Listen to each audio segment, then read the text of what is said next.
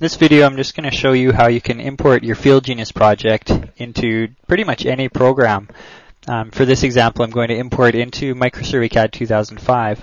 Although normally with uh, importing into MS-CAD or InCAD you'd be able to use the SyncWizzard commands to do it uh, a lot easier.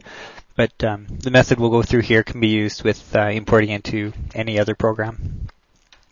So I've got my FieldGenius project open here. I've got um, a lot of points and lines.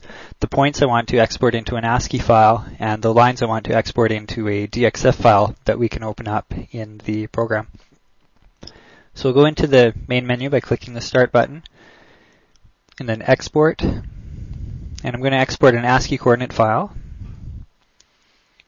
You can change the file name if you need to. For example, uh, if your program requires a specific extension, you can specify that here. I'll just keep the default of .xyz.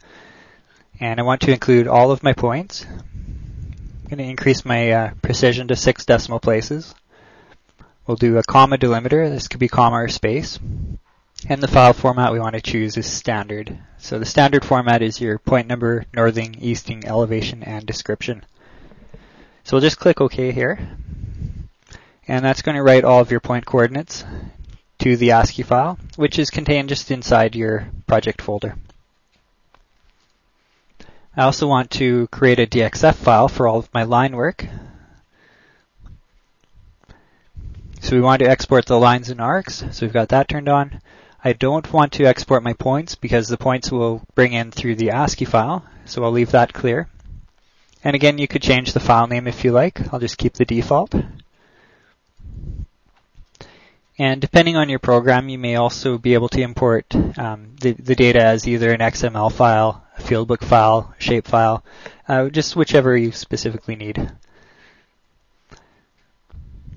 So the files that were created for FieldGenius, these are um, all of the files for this particular project in particular, we've got the uh, ASCII file that has been created,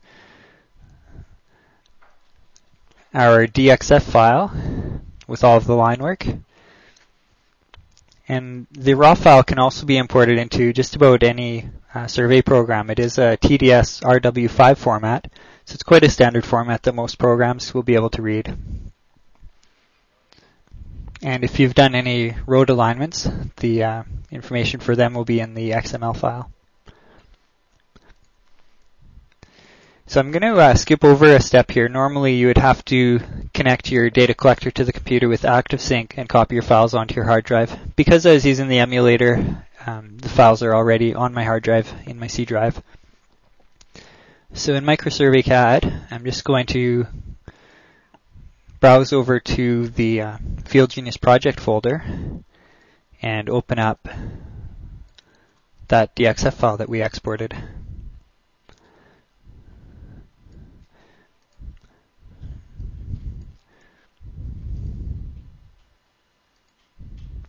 And depending on the program that you're using, the steps that I'm going to show you here may be a little bit different, but the uh, general idea should be the same.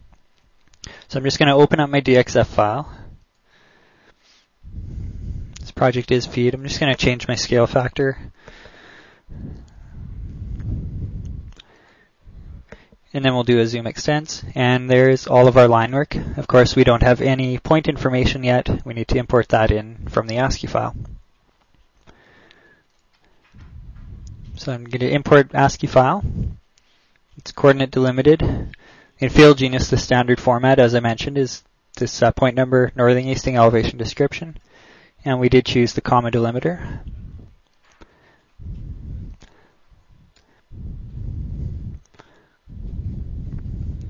And there's my ASCII file. And you can see it drawing in the points now on the screen.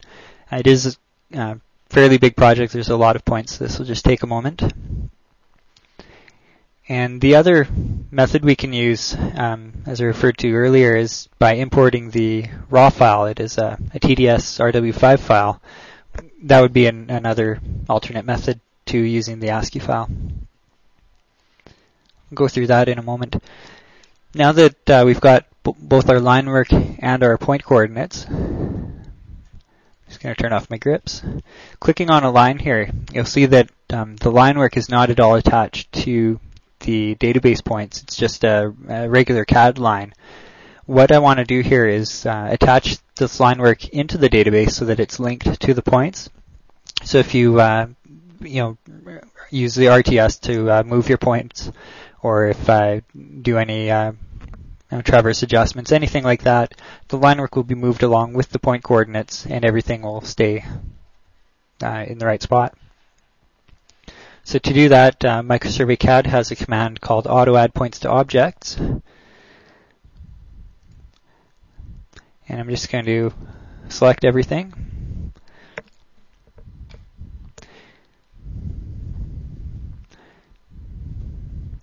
And so what it's doing now is it's just going through and linking the line work to the point coordinates at either end of the uh, the line. Okay, so now we've got all of our line work attached into the database, and we can verify that just by clicking on one of the lines. You can see this line now is attached to these two points.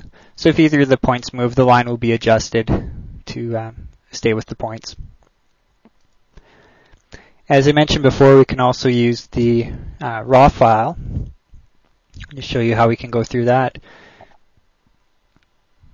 Now the raw file is collected with FieldGenius in an RW5 format, so there's no export necessary to get that. So we can import either the FieldGenius raw file or non-microsurvey products would probably have an option for the TDS RW5 raw file.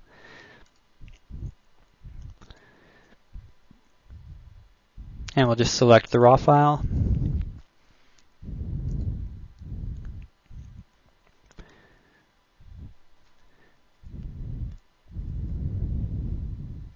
So it's found some deleted point records.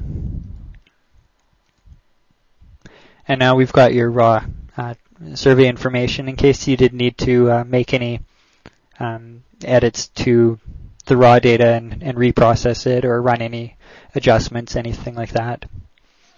So either of those methods can be used to import your files into um, pretty much any desktop program.